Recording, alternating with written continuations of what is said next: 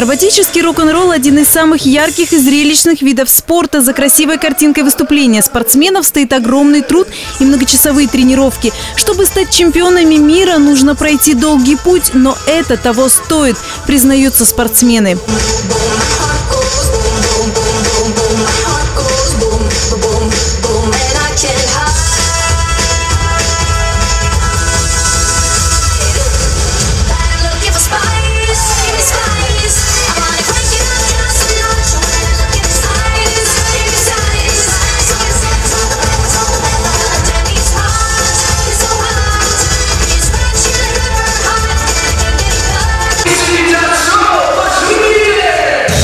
Танцуем мы уже 15 лет вместе, а вообще мы занимаемся больше 20 лет акробатическим рок-н-роллом. А, кто-то танцует больше 20, кто-то тренирует больше 20. Ну, мы занимаемся тем и другим, мы танцуем, мы тренируем. Вот. Почему мы любим этот вид спорта? Ну, это вся наша жизнь, все, что как бы Потому он связано. Да, он лучший.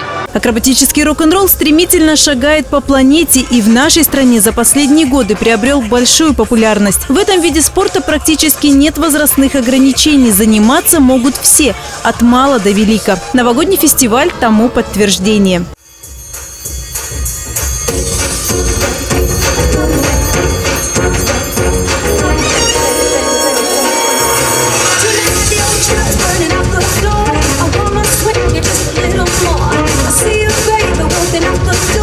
На сцене блистали как начинающие спортсмены, так и именитые чемпионы. Мы начинаем развивать этот вид спорта, очень динамично, интересно для наших зрителей. Вы увидите, никого не оставляет равнодушным. В этом году прошли первенства Московской области. Мы также организовали очень хорошую вместе с Федерацией программу «Танцуй в парк». Пилот запустили в Химках. Э, Каждые выходные приходили люди э, и брали мастер-классы у наших известных э, ребят. Рок-н-ролл развивается в восьми муниципальных образованиях. Лидерами являются традиционно Одинцово, Балашиха, Химки. Э, Там э, это- интересу этого вид спорта неподдельный у жителей. И я уверен, то, что география будет с каждым годом расти. И «Танцуй в парках» проект в следующем году запустим не только в Химках. И подобные мероприятия, я думаю, будут привлекать все больше и больше любителей этого динамичного вида спорта на трибунах. Сборная Московской области по акробатическому рок-н-роллу молодая, но очень перспективная. Спортсмены показывают отличные результаты и поднимаются в рейтингах все выше. 16 год тоже принес нам много титулов. Вот совсем недавно, буквально полтора месяца назад, э, девушки из Санкт-Петербурга победили на первенстве мира в групповой дисциплине. В общем, нам есть чем гордиться. Ну и, конечно, Московская область старается не отставать. Мы рвемся, рвемся в лидеры. Э, и, в общем-то, считаю, что у нас это вполне себе получается. То есть скоро Московская область, я надеюсь, уже в следующем году зазвучит и э, в рамках мировых первенств в составе национальной сборной России. Все спортсмены признаются, что влюбились в этот вид спорта с первых секунд. Сложно остаться равнодушным, когда вокруг тебя такой драйв.